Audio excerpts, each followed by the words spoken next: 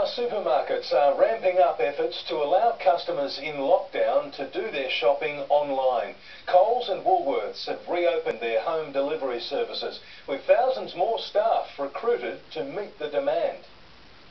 In our changing world, Woolies knows customers would prefer to avoid the aisles altogether.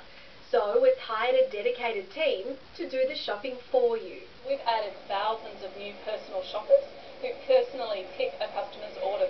The height of the pandemic, home delivery was reserved for the vulnerable. But now Woolworths has reinstated online orders for everyone.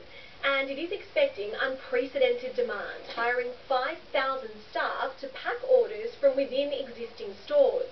And at this new pop-up warehouse in Melbourne's southeast.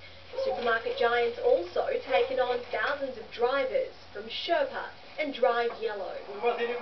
So we've got tens of thousands of new windows available so we can serve everyone with home delivery now. As panic buying eases, Aldi has lifted purchase limits on long life milk, microwave rice, canned foods and sugar. But toilet paper and paper towel are still being rationed.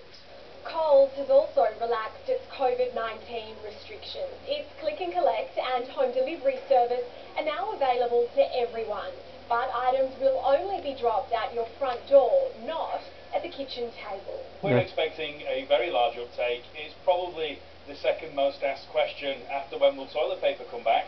Jodie Lee, 7 News. We have breaking news tonight and police have been involved in an incident on Chandler Highway in Melbourne's east. The details are just emerging. Melina Sarris joins us now. Melina, what can you tell us?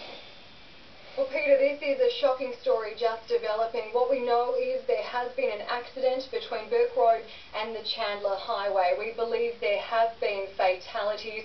There are unconfirmed reports two police officers may be involved in this crash.